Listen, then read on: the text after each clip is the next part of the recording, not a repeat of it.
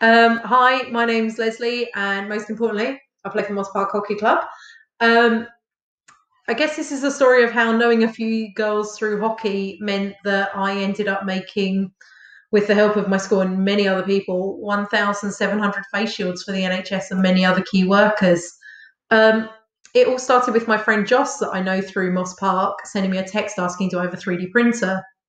And the answer was, Yeah, I've got two in my kitchen, but they're still in boxes because I haven't assembled them yet. And she said that her GP practice didn't have any face shields and could I help? And I was like, um, sure, but like, I'm a secondary school teacher. Are you sure you want something that I've made? And she was like, I've got nothing. Anything will be better until we get the proper stuff in. And I was like, sure. I mean, I'll help. Um, first off, thanks to all the DT teachers out there that were sharing their designs and their ideas. And by looking online and Facebook, I found that I could make some quicker than setting up a 3D printer by hand by going to my workshop. So I rang the head at Blessed Thomas Holford's and he said it was absolutely fine for me to go in and use the school. And the first prototype I made was so shoddy. Um, the picture you have of me as a key worker is me literally like this, wearing a face shield because I'm saying to Joss, Are you sure this is what you want? Like, this is fine. And she replied back, like, Yeah, brilliant. Can I have as many as you can make?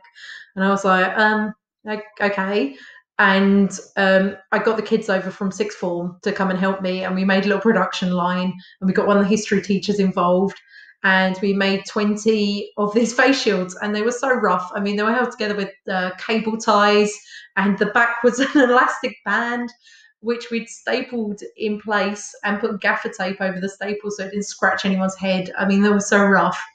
And I put them in the back of my car and drove them around to Joss and was kind of like, I'm sorry and she was so happy with them that I was quite shocked. And um, she asked, "Could I make her some more?" And I was like, "Um, like if you want, okay." And she said, "Yeah, please. These are brilliant." And I was like, "Right." So I went online, and thankfully by this point, Smoke and Mirrors had published a design that was able to laser cut. So that really sped up production because I was able to go to school and use my laser cutter. And then I was cutting the face shields by hand out of PVC and then the kids were assembling the polypropylene headbands. Thank you so much to my head who let me use the school resources, children, materials, and everything else that we used. Um, I gave these to Joss and she was delighted with this version. They worked really well, apparently.